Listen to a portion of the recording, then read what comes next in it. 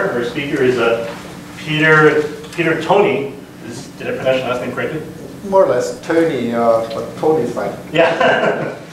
okay. Peter here is actually um, Peter here is actually famous for TWiki. He's, he's probably actually done okay among the people in this room. He's you know his software has probably has probably reached more people than any of other other software that he's actually written. In, well, at least in terms of open source community. So he's probably the most foremost person um, open source developer here um, at SV Perl.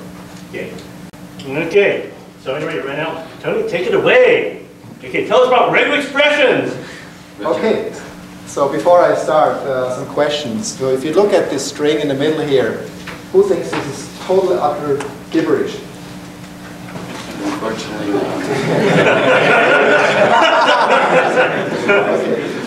Uh, who looked into it and thinks, uh, well, I've seen that, but I don't really understand? okay. And who thinks, well, this is old hat, uh, bring me more? Okay. Okay, so we, uh, as I expected, so it's maybe a third, a third, a third.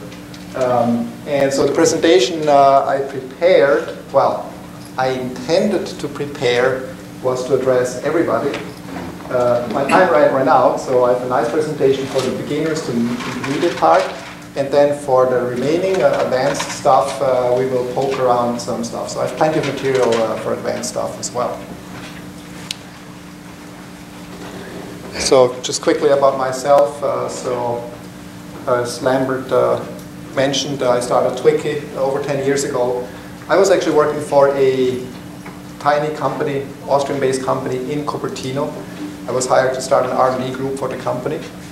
Uh, then uh, between my interview, my first day of work, the CEO changed. The new CEO didn't like the idea of starting an R&D group. So then uh, I basically had a job at the company, but no position. And so then we agreed that I would do customer support management for the company for one year. Okay, so all my background is engineering, so I was a little bit under-challenged. And then uh, also one issue was like quite a complex product the company was selling and the software factory was nine hours time difference away in, in Salzburg, Austria. So then uh, I thought, well, okay, let's deploy a knowledge base for customer support. Then, uh, well, okay, so these commercial knowledge base solutions, they were nice about uh, categorizing content, uh, search, but uh, I thought very weak in uh, the collaborative stuff, like working with content. And then I thought, well, Wikis are really strong in this collaborative stuff, but lacked all the structure. So then that, that was basically the teaching factor to start Twiki. And so I won't talk about Twiki tonight, uh, but uh, it did uh, just give you an idea. So also in Twiki internally, uh, a lot of re is regular expression. So we uh, heavily use regular expression. We also see some examples there. So originally I'm from Switzerland, uh, lived in Japan a couple of years now, over 10 years uh, in the Silicon Valley. Okay, so conventional way to process text. Everybody here is probably familiar. So first of all, uh, why do we want to process text? Uh, if you do web applications, but also uh, desktop applications, you always want to validate input. Uh, you want to change the text from one format to another format. Uh, in Twiki's case, it's we want to change it from the TML, Twiki markup language, into HTML. Um, maybe you want to extract some snippets of text. Uh, maybe you want to test for a certain uh, string that's in a larger piece of text. So there, there are many uh, uh, reasons why you need uh, text processing. Now in procedural Perl, there are a number of functions and I don't need to go into details like index, like a point of position of a certain character or substring that you're looking for in another string, uh, extract a substring, uh, length of a string, you can split the string into an array, uh, do some manipulation and join it back together. There, there's a whole bunch of other ones as well. And then of course there are many CPAN modules as well. So we won't cover this today. Then, of course, there's also the OO way uh, of string manipulation. So there's a string class. Uh, you, you, can instantiate it. Uh, you get the length. Uh, you get the character at uh, index uh, of a certain string within that string object, etc. So now what are regular expressions? So this is just a copy from uh, Wikipedia. So a regular expression is a specific pattern that provides concise and flexible means to match, meaning specify and recognize strings of text, such as uh, particular character words, patterns of characters, etc. Um, so the, I'm not sure if I have it.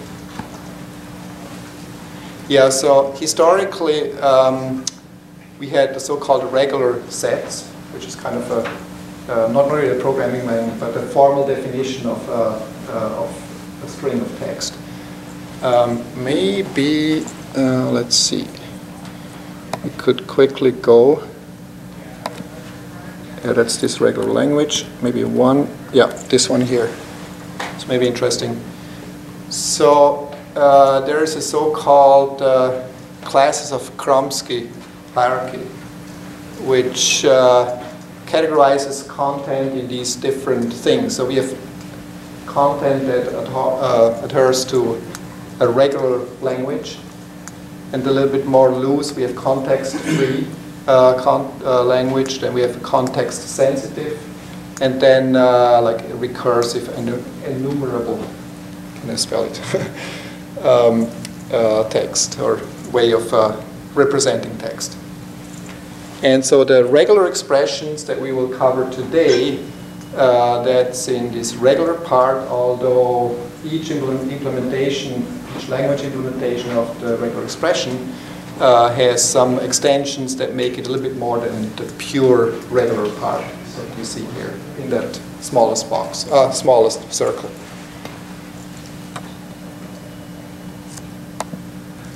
And also, if you have questions, please at any time, let's make it interactive. I don't, uh, I don't consider myself an expert in uh, regular expressions, although I've been using it for over 10 years. So if you see, uh, if you want to chime in, uh, please be welcome to do that. And if you, if you find an error, so I uh, made this presentation fairly quickly, there might be an error uh, some, some places, so please point it out as well. Okay, so why do we want to use regular expression versus the procedural or the object-oriented way of processing text? Uh, well, first of all, of all uh, everybody already knows wildcards. And so you can think of uh, regular expressions just wildcards on steroids, souped up uh, uh, wildcards. So dot star, no, star dot txt in a regular expression becomes uh, dot star backslash dot txt and a dollar sign. And we will uh, go into details to learn uh, what that means. And uh, at least for me uh, personally, uh, for the Twiki project, uh, the, the most important reason to use regular expression is that you can process a large amount of text over and over again. And that's in connection with the speed, so it's extremely fast so that the Twiki rendering engine has, I know, probably several hundred uh, regular expressions that scans over the text, does multiple uh, replaces. Uh, here, uh, you don't need to understand what it it is. This is just a small code snippet uh, from the Twiki rendering engine. And let's look just the last one here. So we have the text. Uh, we scan and identify a, a TML for like the header written in TML, a heading text heading, and then we change it into the CGI uh, uh, heading. Uh, no, sorry, uh, that's a horizontal rule. So we scan for a horizontal rule, and then uh, the, the, TML we change it into the HTML for a horizontal rule. Okay. And then there's some modifiers, and we learn what that means. Uh, so basically, over the whole text, we go over and over again. And just imagine there are over a hundred of these regular expressions, and it's amazingly fast. So that's a basically key value that I have seen. Um, and of course, it's very powerful and flexible, but there is also a learning uh, curve to get used to.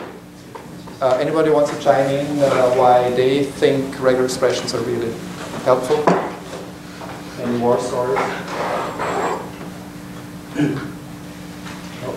The obvious pulling emails out of a log or email addresses out of logs. Yes, uh, so processing large logs, log files uh, to pull out email addresses, IP addresses, uh, maybe pull out an IP address and uh, feed it to a function to, to get domain name uh, or dom- domain lookup, uh, etc. So that's a very good example. So why do other guys use regular expressions? Yes, uh, yes, that, that's a very good example. Uh-huh. So, uh, and especially with web scraping, it's not a full API, and if the uh, external website changes the format, it might break. But the main purpose of web scraping is to very quickly just pull out something, and if it breaks, well, just fix it. It can be fixed very quickly. Right? That's a very good point. One of the s- silly things we do with them is we um, convert prices. So on a website, if you see a price like, you know, dollar sign, five comma, three, four, three dot, whatever, we have to convert that into a uh, floating point number. There are modules to do that, but having a regular expression to do it is actually quite a bit faster. Yeah, and it's faster, plus also it's flexible because you have control over the regular expression. Well, and we deal with uh, a dozen different currencies, and they all mark it up differently. Yep. So. Yep. Ian? Validating input, making sure someone's not trying to break your software. Yep. uh-huh. That's very important. Uh, Newbies frequently forget that stuff, so I'm guilty of that myself. Okay. Okay. So, um, how do we use regular expression? Before we understand uh, the intrinsics, uh, the syntax of regular expression, let's learn how we can use that in Perl. And uh, this is intended for beginners, so it's all old stuff for other folks. So you basically can test the string for a certain condition. So you can look for some stuff that's in the middle of the string or at the beginning or the end. Uh, uh, we can use the full power of uh, the regular expression to look for something and then do something if, if there's a match. That's uh, one of the primary use. And uh, well, there are two primary uses. Uh, one is like uh, test for some uh, string or substring. And the second one is uh, to uh, test for something and replace that with something else. Okay? So it's like a search and replace. There are uh, procedural function for replacing content. There's object-oriented uh, like methods that you can apply to a string. But with regular expression, uh, you have a lot more flexibility. And then uh, there is also the uh, split function uh, where you, either use a regular expression or just a text, normal text uh, as the delimiter. So this particular thing here says, let's split the string on a comma, and in case there is some reading space and, and trading space after the comma, like, uh, remove that as well. Um, and then there is uh, well, other stuff as well, like pause, just off the screen here, uh, defining a regular ex expression string, uh, defining a string where you want to uh, um, quote the meta characters, which we will learn in a bit. So that's the primary use. Any feedback here, questions? Okay. So now the basics. Uh, in the presentation I use fixed uh, font text for text that we are going to process. Uh, red color is the regular expression itself, and the green color is uh, what we will what we find or what, uh, what, what we can match by applying a regular expression. Any colorblind people here? No. Okay.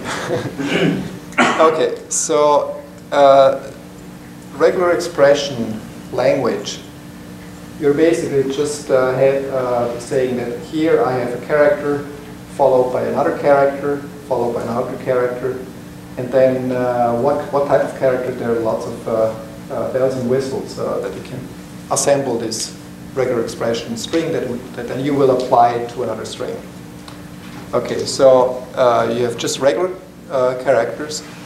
So I want to scan for the character L, And here, it just finds the first one, and, and the regular expression en- engine stops there and re, uh, returns the L. Okay, so now we found L.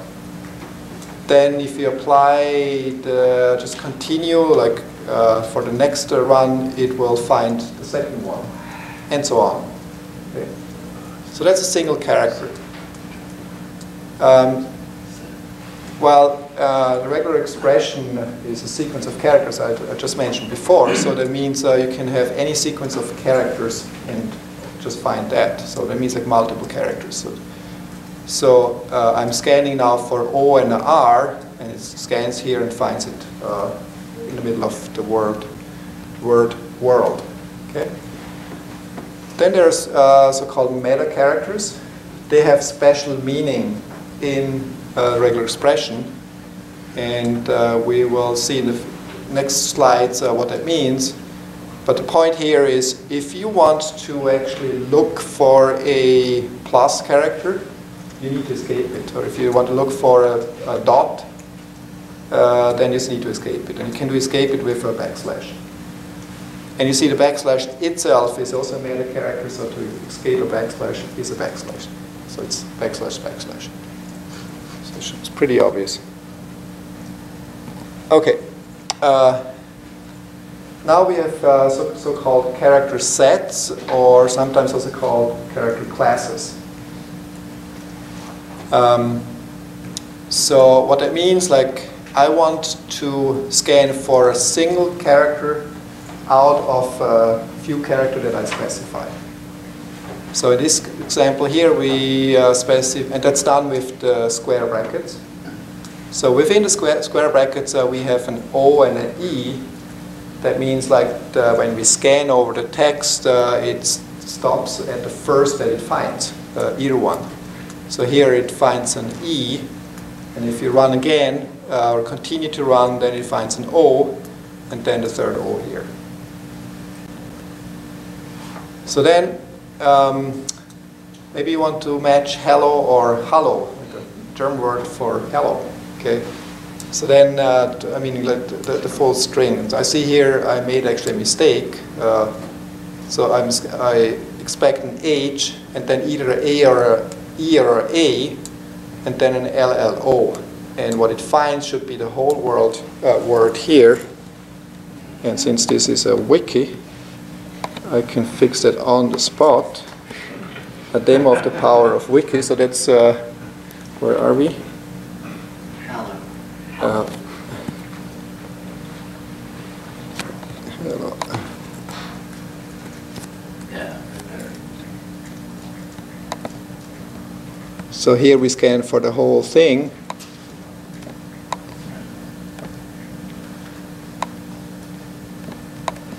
So, so this whole presentation is just a wiki page. And uh, I can turn it into presentation mode by clicking this button here. That's one of the plugins. Okay. So now that it's, Show that is. Of course I want to do some PR for Twiki. Okay. So now, uh, we also can uh, specify a range of characters. So here it's just 0 to 9, but also can scan for A to Z if you want to, or any other range uh, within the, uh, the ASCII uh, sequence of the, the character, uh, of the character set of the, the uh, that you currently that's currently enabled in the system. So here we are scanning for any character, so it finds the first any uh, integer uh, or digit, so it finds the three. Now uh, we also can match uh, hex color. So we have a text, and somewhere in this text we have uh, this sharp FF4444. Okay, so with three hex uh, numbers. So to scan for this, uh, well, first we uh, we scan for the hash tag here, and then uh, we scan either for uh, 0 to 9 or A to Z, uh, and then actually, is that right? Yeah, uh-huh. and then we repeat the whole thing uh, six times. Why wouldn't you say AF since you know it's a X?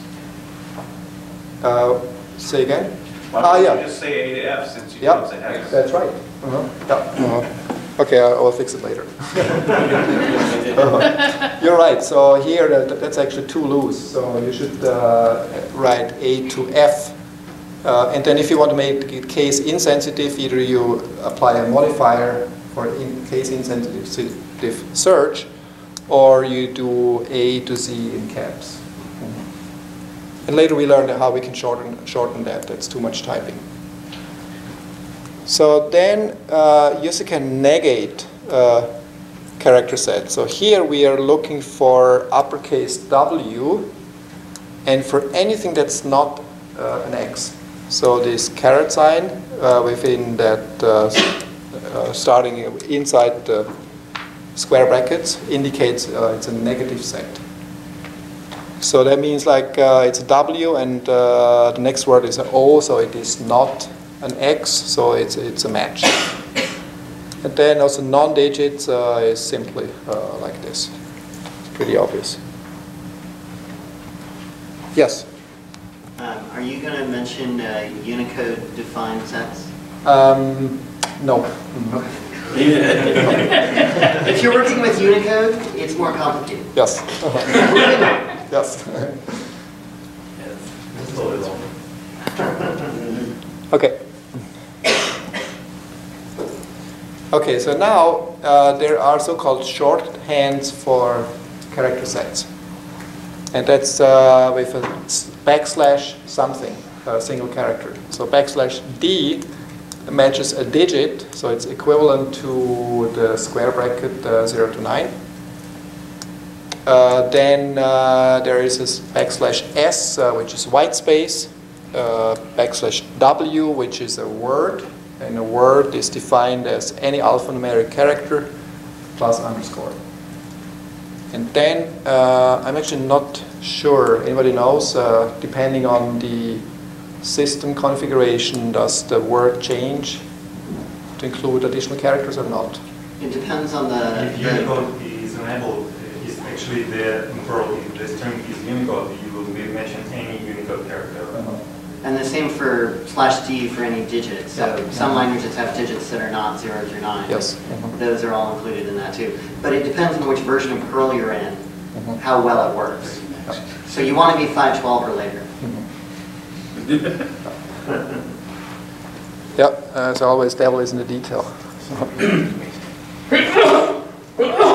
okay, so um, so here we are span, uh, scanning for white space followed by a, a word character. So it finds the space and the uppercase W. So then we have special uh, character sets. So uh, slash backslash t is a tab. Uh, then we have backslash r and backslash n for character and line feed. Uh, then, uh, but line ending on, if you want to scan for line ending and you're on Windows, then you should scan for backslash r, backslash n. So they're platform dependent uh, things that you need to be aware of. Or if it's backslash capital R, it matches any of them. Yeah, that's a good point.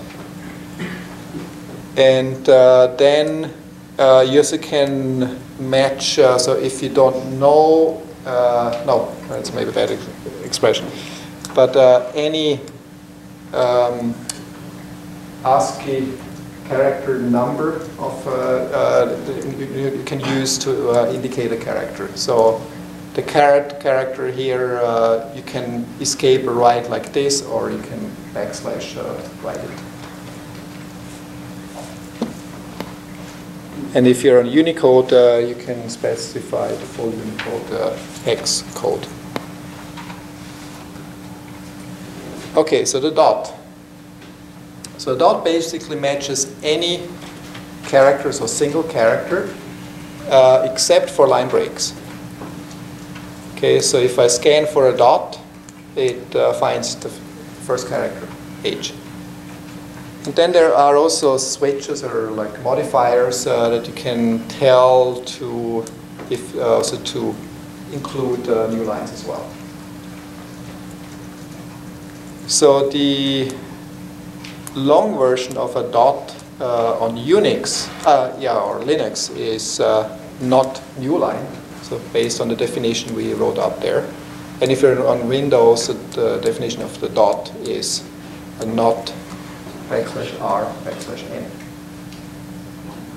And by the way, so the presentation will be also available on TWiki.org. Actually, it is already, but not linked yet. Uh, but I will link it from the homepage. So if you go there tomorrow, you will see it.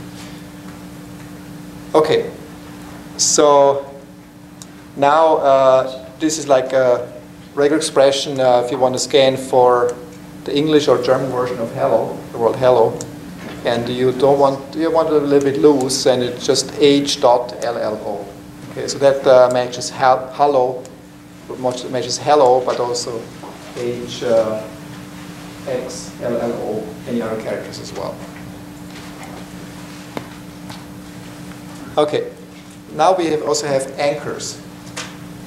So anchors don't match any specific character. Uh, they are just looking for a certain uh, thing within the string and just indicate a certain position in the text that you're looking for, investigating. Um, one is like if you want to match the very beginning of a string, so you use the caret sign. So if you scan for this, uh, the position uh, of uh, uh, is basically in the very beginning. And then you can append some other regular expression stuff uh, to look from the very beginning. Um, and there's also multi-line uh, mode uh, with a modifier that you can enable so that uh, it matches also anything after any line break. And then the end of the string, oops, uh, that's a bug. so this uh, should be a dollar sign.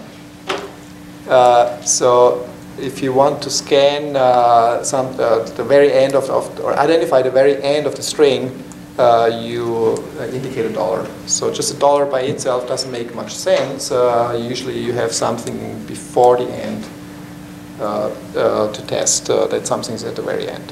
What you frequently do is, well, if you have a long piece of text, uh, maybe you want to make sure, especially for input validation, if you just want to make sure uh, that you have digits, uh, you could uh, use that regular expression uh, to ident- identify digits. But there might be some garbage uh, before the digits and some garbage at the end. And one option is just to only pull out the digits and throw away the other stuff. Then you don't need to do anything. And you, if you want to, want to be uh, strict with the user uh, and only allow digits and complain if uh, there's anything else, then you can uh, scan, start for the beginning, then scan for any digit, uh, and then terminate it with the dollar sign. Okay, so then there's also backslash b. So this backslash b scans for or identifies a word boundary. As we've learned uh, before, a word is not a word in the English sense, but a character that's A to Z or 0 to 9 or an underscore. And with the backslash B, you're indicating that you're either at the beginning or at the end of a word boundary. So the first time you scan uh, for a backslash B, uh, it's the very beginning, uh, because that's where the word starts, a word character starts. Then the next uh, four are also words, so the second time you run it, uh, you will be at the end of the O. Okay. And then there, there's like the opposite, uh, the capital B, like backslash capital B. So a match at every position where uh, backslash B cannot match. So it's just the opposite. Okay, now there's also a logical OR, or the regular expression is called alternation. And that's uh, just a pipe symbol. So I'm looking for dog or cat or fish. And if, if I have a string that's I like cats and dogs, so it uh, finds cat without the S. And if I run it again on the same string, uh, then it second time it finds dog. Third time, it doesn't find anything. Then we have uh, repetition. So that's now the most useful stuff. And it's actually not too uh, complicated, uh, but you have to remember a couple things. So British versus American spelling, color or color. Uh, you can indicate that uh, if you scan for color and the U is one character and the question mark means whatever is before the question mark is optional. So zero or one instances of the character or character set uh, before the question mark uh, uh, can be there. So uh, then the other one is uh, asterisk, which means zero or as many as you want characters or repetitions of that character that's before the either character or character set that's before the asterisk. So if we scan uh, like teletype or HTML TT text slash TT, so and apply, apply this pattern here. So we are looking for uh, angle bracket start, either, either uh, A to Z, A to Z in caps, followed by A to Z, A to Z caps, 0 to 9. And then the star here means like that's either 0 times or as many times as you want. Okay? So that means if you have the anchor tag, which is uh, uh, uh, just an A, um, so and uh, then uh, the star means like it won't match, but uh, that's also allowed in, uh, because it's a star. So now uh, the color example again. So a plus matches one or multiple times. So if we scan uh, for the hash and then have a character set uh, 0 to 9 or A to F uh, with a plus, so it just uh, expects at least one, so that's a F that we find here and just continues until it, uh, there are no more characters in this uh, set. Okay, with this uh, we are not that exact. Uh, so if we are, if we have too many uh, hex digits here, uh, we might get an in invalid hex color. Okay, so this pattern is not that good yet. So now we have one more example here. So we have in the character set A to Z, A to C cap, 0 to 9, and at least one of them. So it catches the A, the anchor tag, as an example. But what's the problem with uh, this string here? Can't start with a number. That's correct. Yeah. Uh, so in HTML, it's, uh, there's no tag that, uh, that starts with a number. There are tags uh, that start with, a, uh, with an alphabetic character followed by a number, like H1 for H1 heading, but there is no uh, HTML tag that starts with a number. Yeah.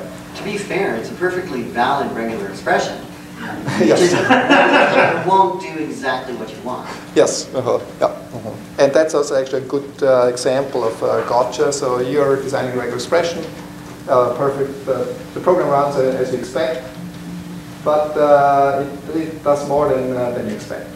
Or, or it doesn't catch everything that you expect, uh, that you actually wanted to uh, uh, catch. So that takes actually some time to get used to uh, these things. And with bugs like that, you'll either be getting zero output or volumes more than you expected, Uh-huh. Yes. depending on what your bug is, even if your regular expressions are syntactically correct. Yeah. mhm. So from a practical point of view, do you test your regular expressions in the program or do you test them independently of the program? Depending on what you're building, you test things as soon as you can. I'm wondering what what people do, because I was find that I'm trying to write a regular expression, but it's kind of like orthogonal to the program structure. Normally, I have, I have a piece of code um, that is used for validating MAC addresses. So I started out and pinched a piece of code out of somebody's module. Ran, worked fine. The first failure mode started to occur when we found how many different ways you enter MAC addresses. So what happened then was the unit test got put up to start testing with regex, so that every time we could think of another way that this could fail, we would put it in the regex. And that was the first thing we did. Anytime something weird happened, we would add that new failure to the unit test. And then the unit test would tell me whether or not, is that going to work? Yes, no. So, Um, I was going to say another really useful thing is grep. Now, grep uses a slightly different syntax than Perl regular expressions, but you can often test out your basic regular expressions using grep, not just against whatever your input file is. But when you get into a little bit of complexity, grep and Perl separate and go their separate ways. Yep. But you can test Perl with one-liners on command lines. But yeah, you can do one-liners with Yes. grep, Uh-huh. dash capital P. Yep. Oh, I haven't tried that. Perl regulars. Oh, okay. Yeah, in, um, in Vim, you can use a slash V, and it'll use Perl regular expressions. Then there's uh, the SED, I still use SED uh, uh, for command line processing and quick and dirty stuff. uh. And that uh, regular expressions again a little bit different. Okay, uh, move on. So there are, so more, a little bit more repetition. The curly braces. So curly braces are really useful. So you can uh, test for exactly uh, or expect exactly a number of times uh, that you want to repeat. So here six times. So with this uh, example here, we have color uh, hashtag FF444400. So this is invalid, it's too long. Okay, but if you want to actually extract the, the, the color from this piece of text and uh, you want to make sure the color is valid and just ignore what, uh, if it is too long, then you can write uh, 0 to 9, A to F, and then uh, in curly braces 6. So it, it scans for exactly 6 characters. If you have 5, there is no match. There are 6, uh, it finds a 6. If there are 7 or 8, uh, it just takes the first 6. but you could put the slash B in there, and that should, The backslash B? yeah. Yeah, uh, right. So that's the next example here. So here the uh, homework is we want to match any number between 1,000 and 9,999. So first uh, we have uh, one character. The first character is a 1 to 9. So that's this one here. Followed by 0 to 9 exactly three times.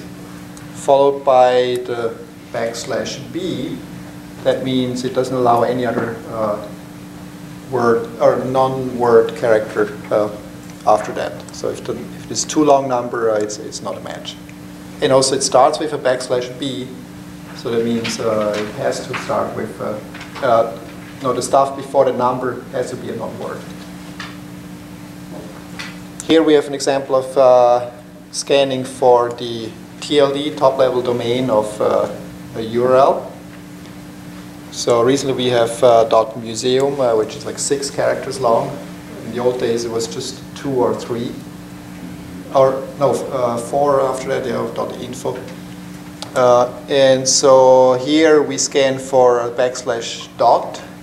So that means like a period. Uh, we scan for just uh, characters, I mean like ASCII, no, alphabet characters and uh, between two and six characters. Not more, not less. and then followed by, uh, so your backslash slash. Uh, so we're, we're escaping the slash because the delimiter of that regular expression is a slash. Okay. And then uh, one more example here, any number uh, between 1,000 and 99,099. Uh, so again, it's the first character is a 1 to 9 followed by a digit, either three times or three digits or four digits. And again, uh, uh, you're anchoring it uh, against the word boundary starting beginning. Okay, so now the most fun part here, uh, and uh, uh, many, uh, so including myself, started with regular expression. I didn't understand that. And got uh, unexpected results. So there's a so-called greedy and non-greedy uh, scan or repetition. So uh, the greedy repetition is just think of it, uh, use as much stuff as possible. And then the non-greedy or lazy repetition is just use as little as possible. So the greedy uh, example is uh, the angle bracket dot plus. So here, uh, well, you might want to scan for an HTML tag. So you think uh, angle bracket a dot uh, plus means at least one character, and then a closing angle bracket that will do it. But what you're actually doing is, uh, if you have uh, this text here, it will greedily scan for the very last uh, angle bracket, closing angle bracket it finds. So you're not uh, you're, you're capturing too much, not what you expect. So then with the question mark, if you add a question mark to a repetition, it means, well, uh, scan for it, but be careful, uh, don't capture too much. So if we do that same thing now after plus uh, question mark, then you see uh, it will capture just the first uh, HTML tag. Um, so the question marks, so the non-greedy repetition, there is a small performance impact. Uh, most cases it doesn't really matter because uh, regular expression is blazingly fast. Uh, but if you have an application uh, where, you, where you really want to look for performance and tune for performance, uh, try to avoid the non-greedy uh, repetition and use other means. And so that's here something that's not 100% identical, but uh, kind of similar uh, results. So we scan for an opening uh, bracket. Uh, the question mark here, so it's an optional slash. So we account for like a closing HTML tag. Uh, and then we scan for anything that is not an opening or closing tag. And uh, plus, so at least one of them needs to be there. So, so this is faster than the uh, non-greedy repetition. Yes. Okay, one more time. Uh, let's see, you got the backslash, forward slash. Can you re- talk about that one more time for the audience? It's, uh, looks kind of strange. It's, well, The- why exactly do we have to actually, yeah, why exactly do we have to have to have a backslash there? And it just, Yes, okay, so uh, depending on how you define the regular expression, uh, so usually in Perl, uh, the default way that how you define it is with uh, backslash. So regular string is with single quotes or double quotes. Uh, with defining a regular expression as well with single quotes or double quotes. But user can use the, normal slash, so not the backslash, to define a, a regular expression. So if you do that and you have a, a, slash somewhere in the, in the string, it will generate a syntax error. So that, that's why you need to escape that. And in Perl, uh, to, to define uh, or to define the start and beginning of a regular expression, uh, you can use other characters as well, like the pipe symbol, uh, pipe pipe, or even curly braces, uh, open curly braces, close, to define a regular expression. But if you have then curly braces within the string, within the regular expression, then you need to escape that curly braces as well, well.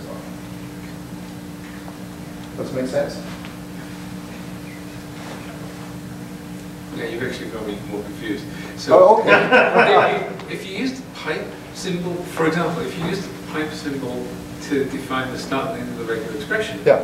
how do you define A or B? Uh, then. Uh, You would choose a different delimiter.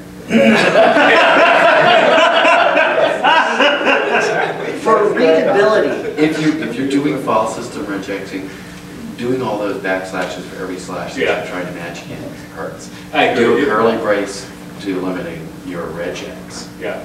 And choose the one that's least likely to be in the pattern you're looking for. Step one. good answer, yeah. Mo- most places I've seen have a standard defined, which is use slashes unless you have slashes inside the regular expression, and then use curly braces.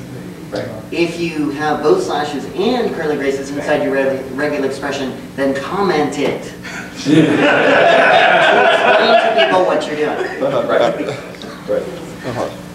So, Okay. um, a new Yes. question. Uh, This, this would match the closing tag as well? Uh, yes, so if you run this again, uh, so, hold on, this one here. Yeah. If you run this again uh, on this string, uh, it finds the closing HTML tag because we have, uh, uh, we allow zero or one, so the question mark is zero or one flashes. Wouldn't wouldn't that match the same if you just didn't have the backslash forward slash question? No. No, it would match, it would match. Yeah, the- yeah. Yes, it would. It would match the. Right, because You you get zero would one. catch it in the, anything that's not an angle. Yes. Okay, once again, the stuff within the square brackets of, okay, explain one more time, what's that stuff within the square brackets? Okay, so the square brackets uh, is a character set or character class. The caret means it's a negative set, so anything that's, uh, that's defined in there, you're, you're looking for anything that's not that. So, and we are indicating a square bracket start or end. So any single character that is not a start or end uh, bracket, and with the plus, uh, it's one or multiple. So if we uh, scan for the second time, we expect the start, uh, like an open bracket, this one here, we found this. Uh, we look, well, we allow uh, one slash. We found the slash, let's move on. Uh, we, uh, for next character, it's a plus, so one or more. It cannot be a backslash or a, uh, I mean, a start bracket or end bracket. So it's a T, okay, let's move on. Next one is a T, okay, it's not uh, uh, what we forbid. We move on. And then uh, it's a uh, closing angle bracket, and we specify not angle bracket, okay. So it's no longer valid.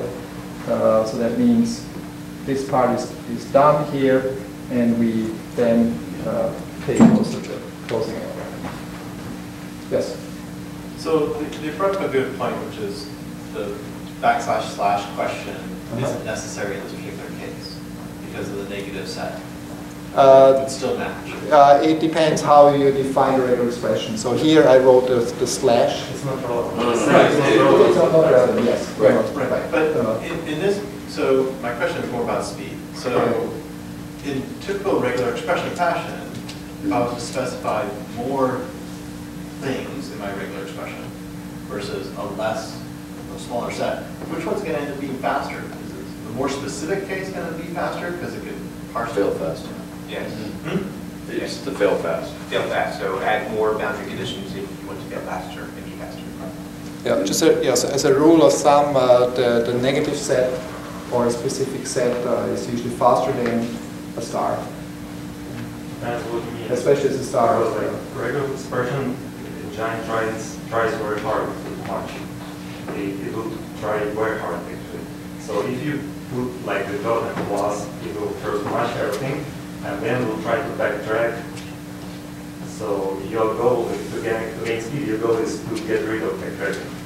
So by specifying the most exact case, you, you can get, you can get rid of it. And in, in that regex, you technically should have started with a character set for all, must be a letter before we get to the negative set as well, because he would allow, uh, zero in your, in that regex, zero. Ah, yes, exactly, yeah, yeah. So, so this is, You need to uh, right, so this is very loose definition here. Yeah. Anything, uh, number or, or also a semicolon, doesn't matter. So it's way too loose. This here is a little bit more strict, uh, no, actually not. Uh-huh. So, so here, the, the proper way would be what we have seen a couple uh, pages Yeah. before. Yeah, you're right. Which needs to go in front of it. Yeah. Okay. So now on grouping. uh, and back references. So the purpose is, or the idea is, uh, so let's enclose uh, some tokens, some stuff that we are looking for, and then we enclose it in parentheses. And so then uh, the purpose is so that we can later reference that. So in Perl, it depends on the regular expression uh, implementation, uh, but in Perl, it's like dollar $1 holds the content of the first group that you define with uh, the parentheses, dollar $2 the second one, etc. And then uh, dollar $0 uh, holds the, the entire match, reg regex match. Okay, so let's look at, at an example. Uh, we have a string ready, set, go. And uh, we uh, test for a mandatory substring set. So we expect, uh, so the set has to be there, otherwise it's not, uh, not a match. Uh, but we, uh, we also want to capture set, the string set at the same time. So that's a regex here. So ready, comma, space, uh, and then set in parentheses. Uh, and uh, with this string here, it finds the set, so it's okay. So if we don't have that string, uh, it's false, so then it's not found. So that's an ex actual example here uh, that we found it. Uh, actually, it would be good to found space dollar one. It will print out what we captured. Actually, dollar zero, it's not, it's the program name. It's a, I thought, ah, yeah? Ah, that's right, yeah. Uh, okay, yeah, I mixed it Dollar up. zero is from awk. Yeah, that's from awk. yeah. Okay, good point. Thanks. I will fix that.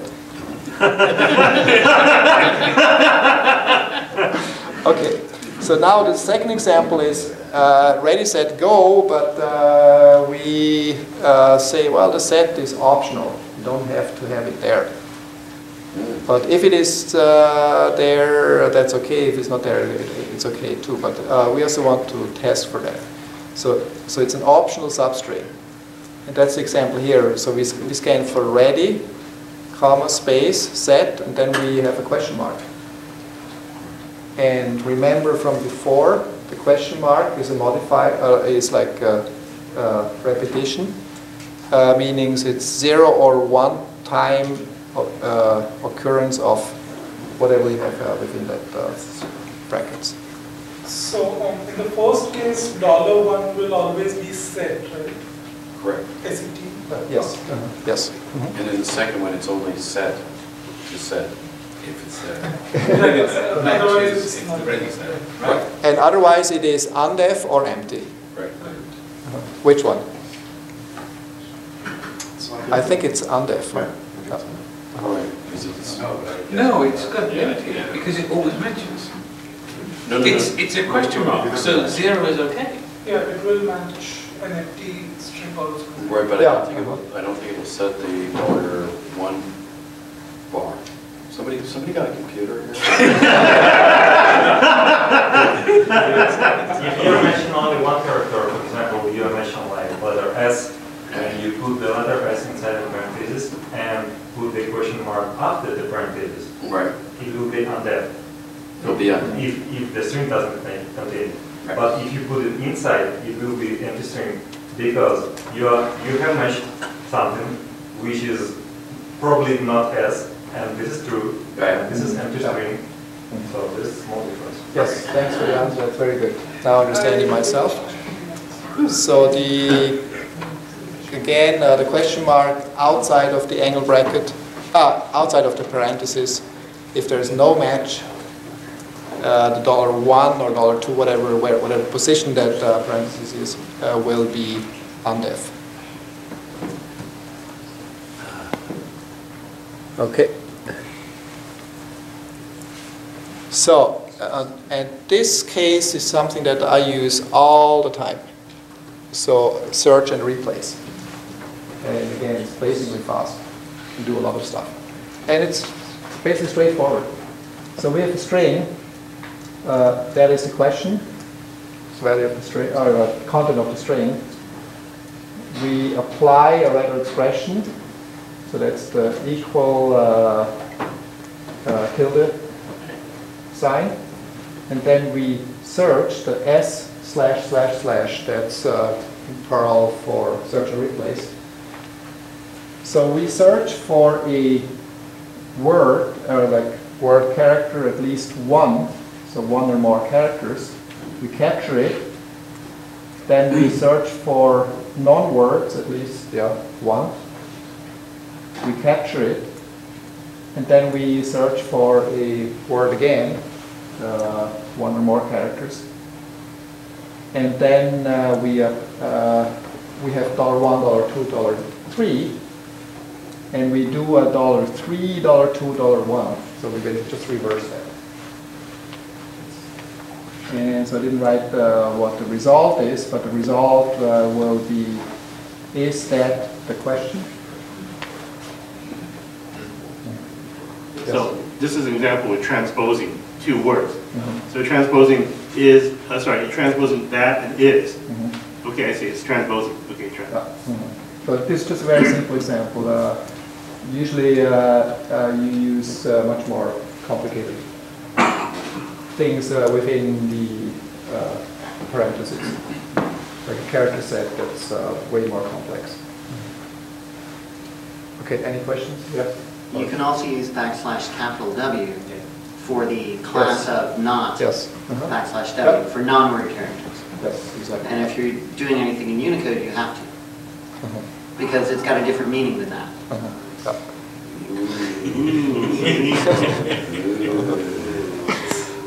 Okay.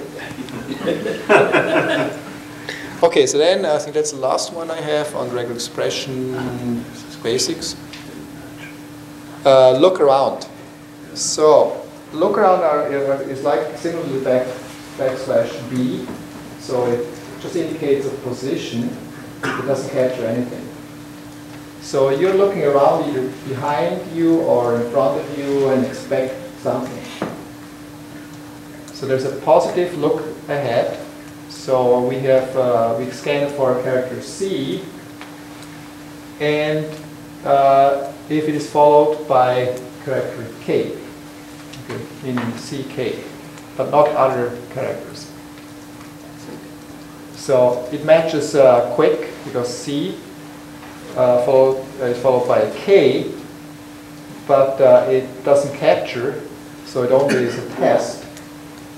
Uh, so that's why uh, there's a match. So the pointer will be after the C, or between the C and the K. Uh, if you, for the word active, so it's a C followed by a T, so T is not a K, so there is no match. Okay. There's also a negative look ahead, which is basically just the reverse.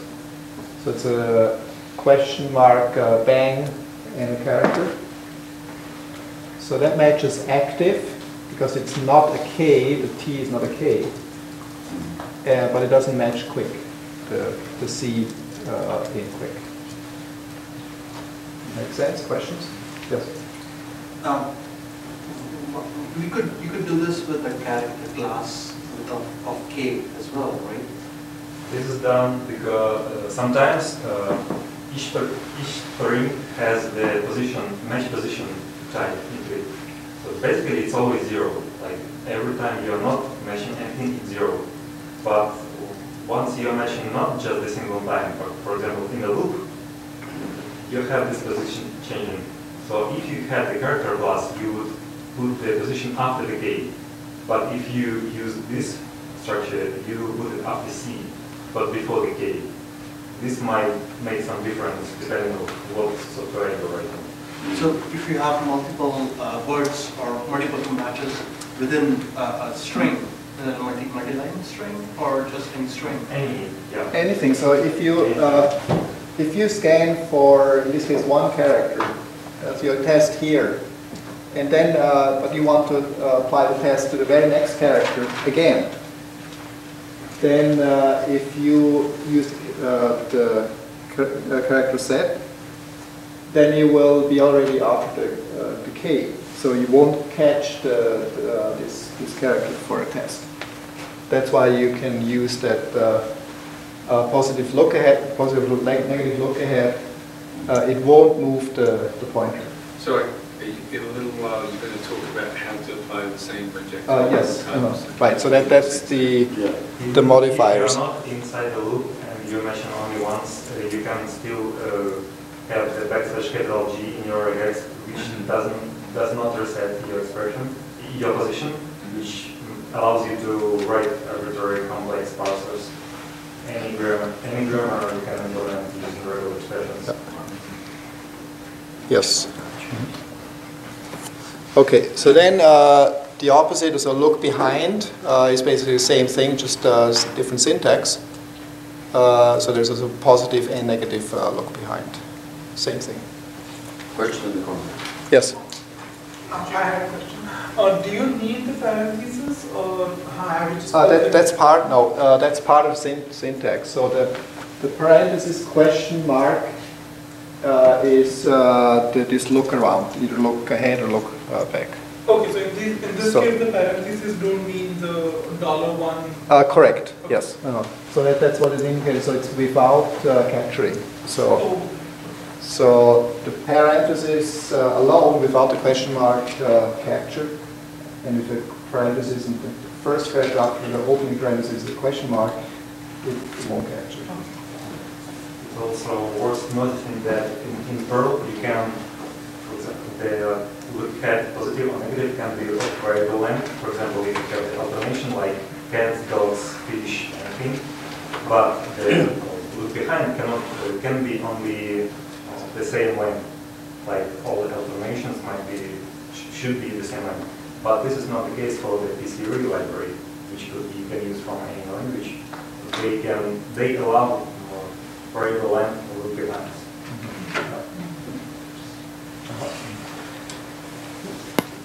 Okay. So now let's look at this example here. Now you, uh, all of you are now experts. Now you understand. Uh, and it's actually not too difficult. So now, now we know. Uh, well, the homework here is let's parse uh, username at domain dot uh, some uh, top level. Uh, just any email address, basically. Okay. So uh, we make sure that we anchor it. So backslash b in the beginning and at the very end. So that, uh, that way we make sure uh, we have an email address uh, uh, anchored properly. That's also a newbie mistake to forget to anchor stuff. So then uh, we start with uh, one character set indicated here where we identify the username. So what are allowed characters in the username is a word, uh, I mean a word character. So alphanumeric characters and underscore. Uh, so that means like this is uh, not needed, so I define again, right? So I could take that out, that's about, well, not about, uh, it works properly, but it's super, uh, not needed. Um, adopt. And now a little curious thing, uh, well, we learned that uh, dot needs to be Backslash escaped yeah. uh, with backslash. So the thing is, uh, if you are within a character set, uh, with- meaning within these square brackets, you don't need to escape. Dot means dot. Yes. You're, but inside the character set, it- there because are it's literal literal characters characters that you're looking for. Yeah, the character set is literal things that you're looking for. Well, except for the character classes like backslash W. Uh-huh. And that's why, that's why, that's why if the way I started was literal characters, and I switched to things. And if you're looking for a caret, you can't put it at the beginning of the character class, but you can put a caret at the, anywhere but the beginning of the character class. And because at the beginning it means negative, but anywhere else it means caret. Yeah, that's, that's one. This is where I wish we the end? had more characters on our keyboard. Don't say that, you have to find them. Because then regular expressions would not have so many characters that have double meanings. Uh-huh. Like caret means one thing here and one thing there, and dot means one thing here and one thing there, and dollar sign and so on. If we Right, had right. more uh-huh. characters on our keyboard, we could have different characters for each of these uh-huh. meanings and not worry about it. Uh, but we find So, Figure out more stuff to. Yeah. so in this regular expression, would backslash dot mean dot still? Yes, uh, it, it works. So, so it doesn't hurt if you do a backslash dot. Right. Uh-huh. Okay. Okay, So now uh, you see, well, we also have here a dash. Well, you know a dash is, is allowed. We also have a plus. Again, the plus is a, is a meta character, but because it is inside the, the square brackets, it doesn't need to be escaped. You can if you want to. And with the dash, the dash even has a special meaning within uh, the character set. 0 dash 9, A dash Z. Okay. Why do, why can we just write it here and not escape it? Because there's nothing that can be a range on either side of it. Yes, because it's at the end, so there is nothing that identifies a range. Well, actually, if you put it in between two of those punctuation characters, it'll mean the ASCII range between one punctuation character and the other punctuation character. So it pretty much has to go at the end. So, so to maintain my own sanity, can I always escape stuff?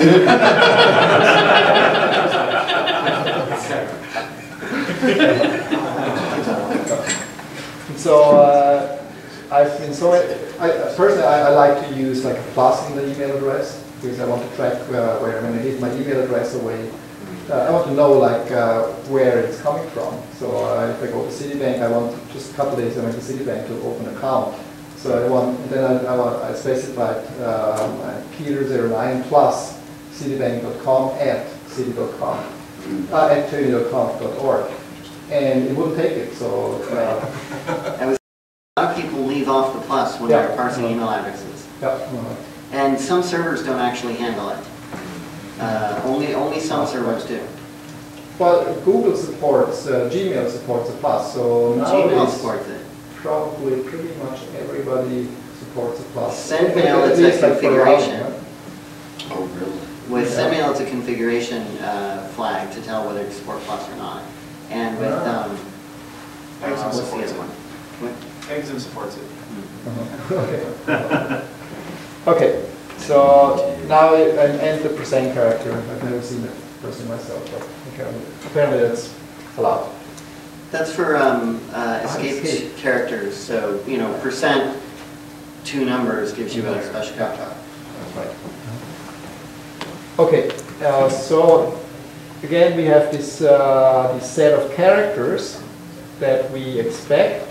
It's a plus, so one or more uh, characters, followed by an at symbol, that's literal, followed by, by another character set. Uh, it's a word character or a dot or a dash. So that uh, way we can have subdomain dot domain dot uh, TLD. Uh, and uh, plus of one or more, followed by a dot. So this, this time uh, we have to escape it, because it would mean any character if you don't escape it. And then followed by A to Z, uh, also A to Z caps, exactly between two and six characters. Question on that, previous slides, the syntax was two comma six. Oh, that is what I think about. Oh, No, that's right. Isn't it? No, No, no, it should be no, different. no, No, because it- it's a minimum number, comma, maximum number. Oh, I thought you So- actually so the rep should- two or five or seven. No, That's well, not the integer. if it is, Okay. yes, so uh, if zero to nine is inside the character set here, it's a range, okay? But inside. In the curly braces, uh, s- like, uh, you can specify the comma. Either uh, no comma, so it's exactly number of expect, or a to back.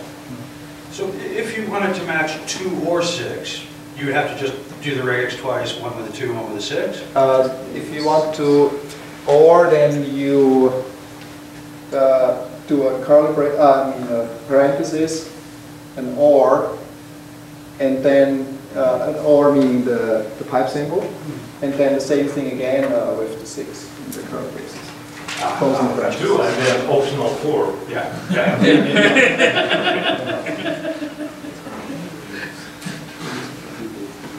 So, uh, So one, yeah, go ahead.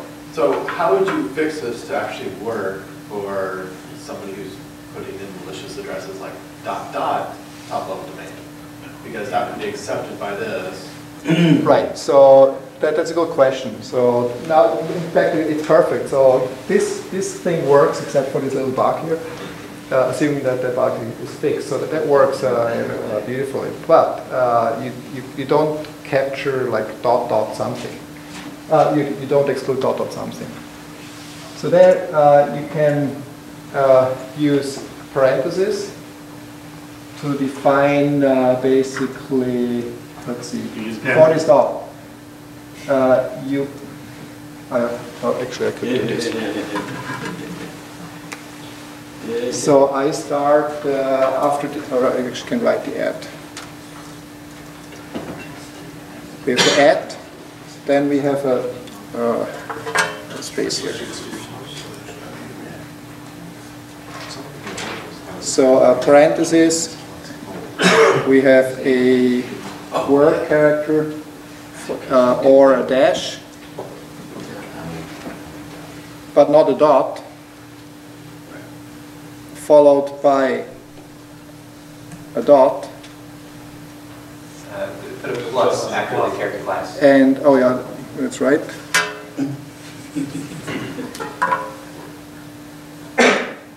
Plus, so we expect one or more of these characters here, followed by a dot. And before dot, another word character. Except dash, you cannot end by dash. Can you start by dash? Say again? It, it cannot be ABC dash dot, blah, blah, blah. Yeah. I don't think dash ABC, can it? This here is not possible? Yeah, you But can- before the dot, you You have to can't, put. you can't say like some dash, word dash dot, dash dot, dot dot. Ah, yeah, yeah.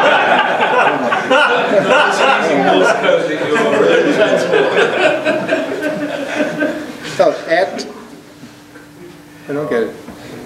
Yeah, please write. There's a plus. This is why No, check so hard. This is the best. This is the right time to throw in the fact you Plus, the oh. email starting the IP address. then it should end, always end, it, it cannot end by, by dash. Ah, yes, okay, yes. And then dot, and this Yeah, several okay. times. That's and correct. Then dot and everything. But it, it has to, it has to start. Actually, uh, this here, uh, we, we already have the dot here, so we can't have the second one here. You want at least one of them because you're Yeah, blocking. And You then, want joe at dot com.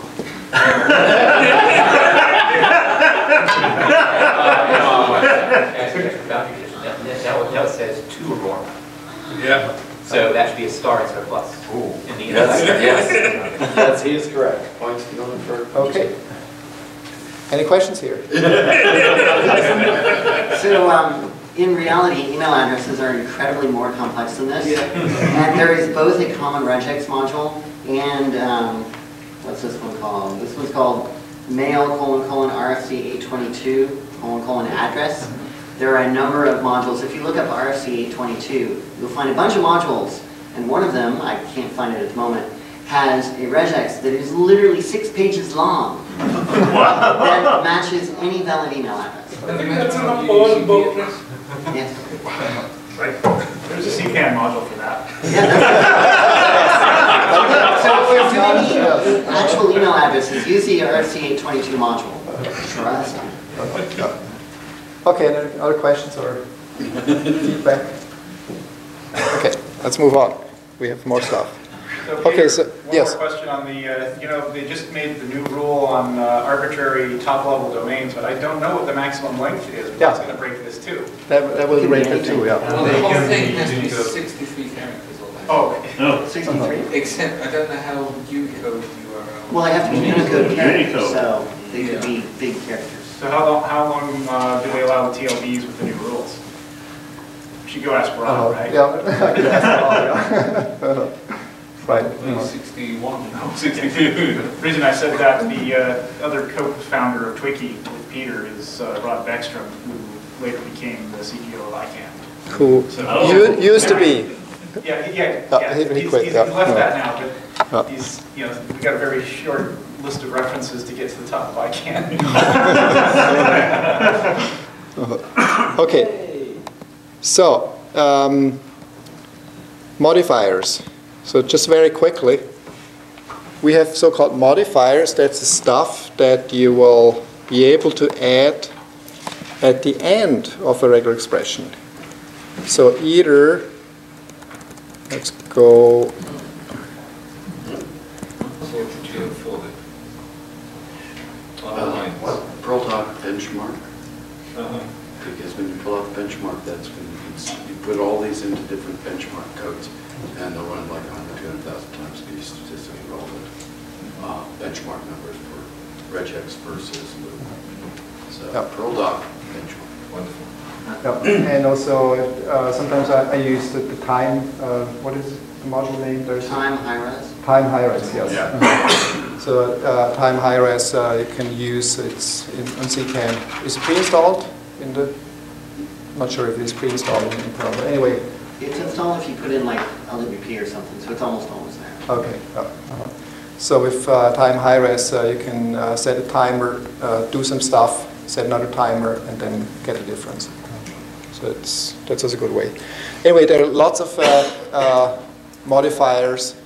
Uh, I won't go into details here, just make you aware of that, uh, that we can do lots of stuff, modify the uh, behavior of regular expressions with these modifiers. Okay, so how much more time do we have? I have Uh, you more more stuff. Yes. You can go. Uh, Okay, can you wrap it up in five minutes? Uh, oh, okay. That was sprint. Okay. So uh, resources. Uh, there's actually regularexpression.info, which is pretty good. Okay, so it is uh, generic. Uh, it's not Perl specific, but it's well organized. Has good tutorials. So uh, just poke around there. Uh, then, of course, like the Perl uh, regex, regex tutorial, which is pretty good as well. Uh, and then uh, there's the reference, big reference mail. So that's the three places I would go uh, to look up uh, content. There are also uh, regular expression books. Anybody has uh, brought along a book by The chance? first book is uh, Jeffrey Friedl, Western Regular Expressions. Yeah. It actually, mm, it's useful not only for programmers, the late- latest edition has about 250 pages like of general theory behind the regex, and then examples for Java, Java, Perl, and .NET, experiment languages, and everything. Yeah, so this is also pretty good here, O'Reilly book, regular expressions. It's a must. And yes, and then there's the mastering regular expression, which is probably much thicker. Okay, so maybe I pass it around, so that's Lambert, it's... uh, Yeah, that's my copy. Don't lose my copy. I'll kill you. Okay, so, performance. Okay. So, um, I actually was looking for, uh, I was searching in Google for uh, regular expression, like images on Google expression. That, that was the second image that they up.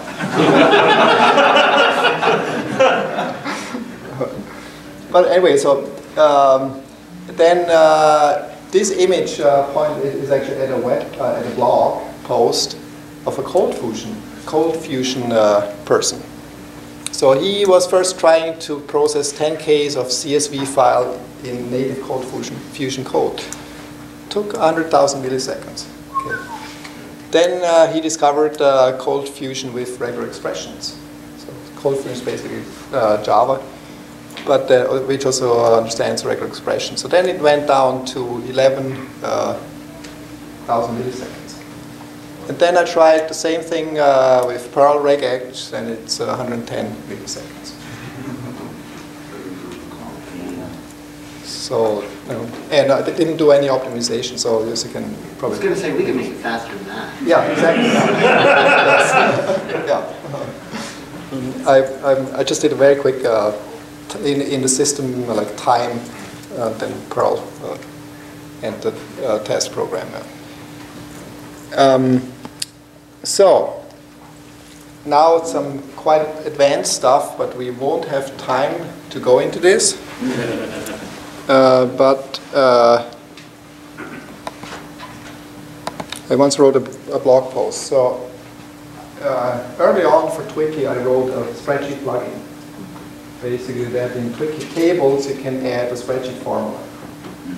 And uh, for a spreadsheet program that's evaluating like nested formulas, you typically use a parser that creates a tree and then like yeah, like and, yeah, and, and all that stuff. But I didn't want I didn't want to do that. I like uh, regular expressions. So then I asked myself, is it possible to use regular expressions to actually parse and understand and process uh, nested structures? And some people say it's not possible because a regular expression is, is regular, uh, doesn't support uh, these nested uh, structures. You could, uh, however, in a regular expression define just nesting with the question mark meaning optional, so you could define it up to level 4 or 10 uh, depth of uh, 4 or whatever limit number. But to do it indefinitely, uh, you, I, I, don't think it's possible to doing this uh, with regular expression. And so I came up with uh, a solution that's using regular expression, uh, but parse more than once. So the idea is, let me make the font a little bit bigger here.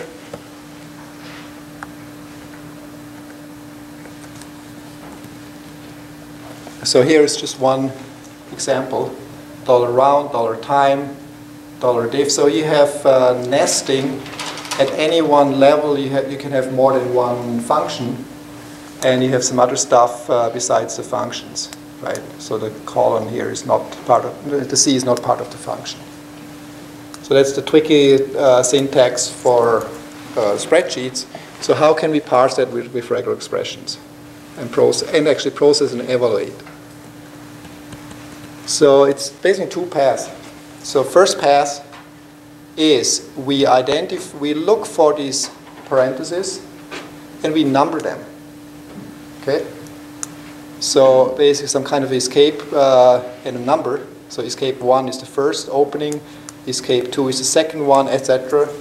And if you're at the uh, closing, it counts down, and the same level, it just goes up and down.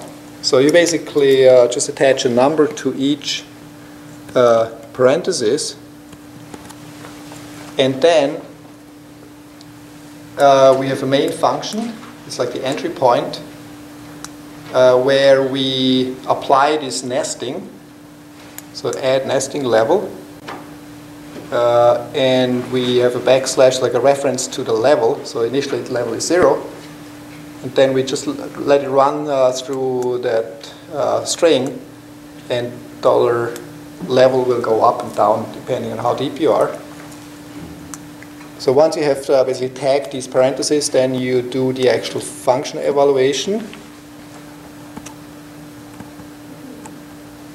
which then, uh, where do I have that?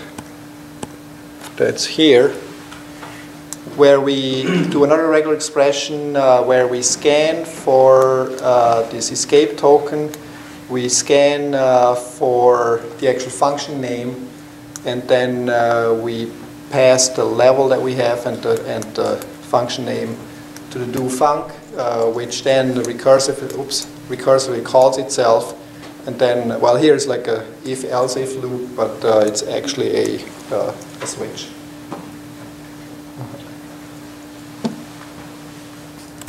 So I won't go into more details. Are any questions? So,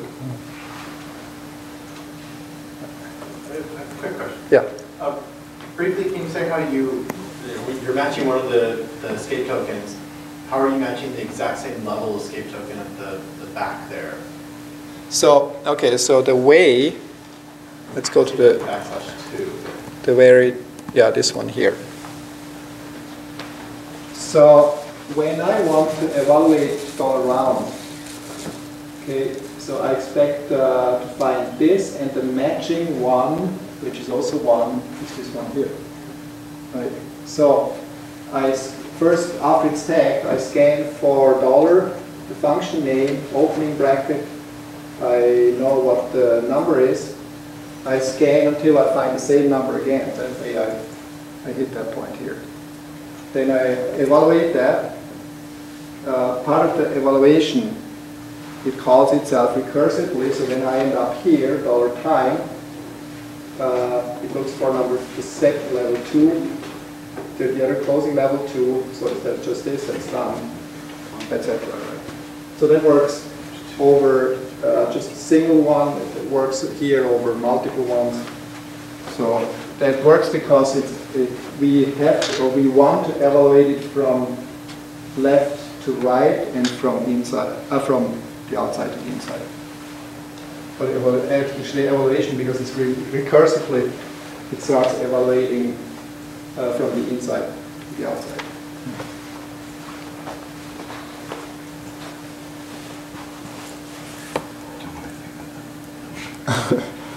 and so how to identify the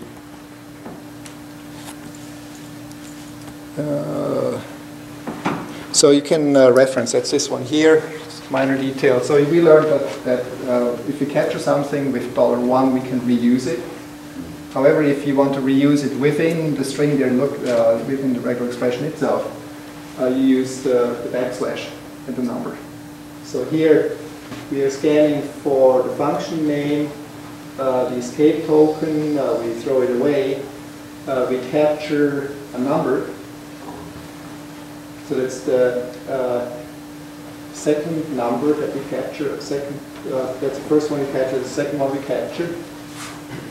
Uh, then we continue scanning here non-greedily because on the same level we, we might have multiple functions. Uh, we have again an escape token, and then we expect the same level that we captured here. So backslash uh, here identifies what we captured at this level, at that point.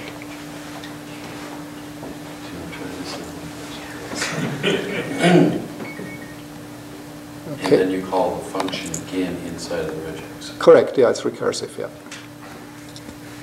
Okay, so we won't have time, but it's actually. but uh, this is a good homework for you guys, okay? So go to twiki.org tomorrow uh, and then uh, print it out, okay? So it's a regular expression puzzle. And it's actually quite complex. It took me a whole evening. Okay? you didn't just write a regex to solve it? That's another part of it. and so here they actually forgot the anchoring start and beginning, but uh, just assume that it means like it has to start from the beginning and it has to end at the end. So it's not like a match anywhere in between. It has to start uh, here. It has to start with either with a D or an N or T or the O.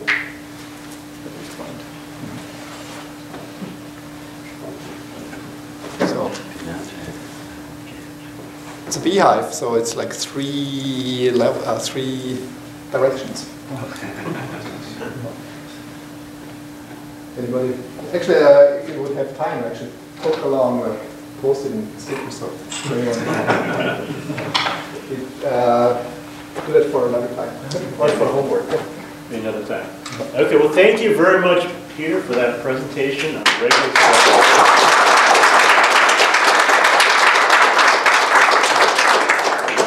I hope, uh, hopefully was useful. Uh, just, uh, I can explain around. this thing with the optional parentheses group. There was a question. That is it. Uh, let me go back here. Oh, hey guys, we're not done quite yet. Unless we get Uh, do you want uh, any slide? Uh, no, just Oh, okay. for example, if we uh, have some string say hi, and we are matching against the letter A, and there's another regular expression A. What's the difference? So, uh, both both uh, this will be successful. So we are matching for a letter A optional, which is not here, but it is optional. So the match succeeds, but the parentheses return just the empty string. And this matches at this position, just before the first letter. But this one uh, matches, uh, so result will be the empty string uh, of this group. Uh, but this one, it matches letter A, it, it's not here, but it should also return this group. And there is no such group, so the result will be undef. And because it's optional, the whole regular expression matches, but the result is different. Okay, so but if you're doing if string match regex, are they both true? No. Yes, yes. Okay. The boolean is true, but the dollar dollar one, here it's empty string and here it's undef. Yeah, but, but, but- and, and of course, if you don't actually want to capture anything, you should use the, uh, Yes. mark colon version. like this and something here. This is a group uh, grouping for something like for alternation or anything, but this doesn't doesn't assign to a group, so it saves zero cycles. Okay.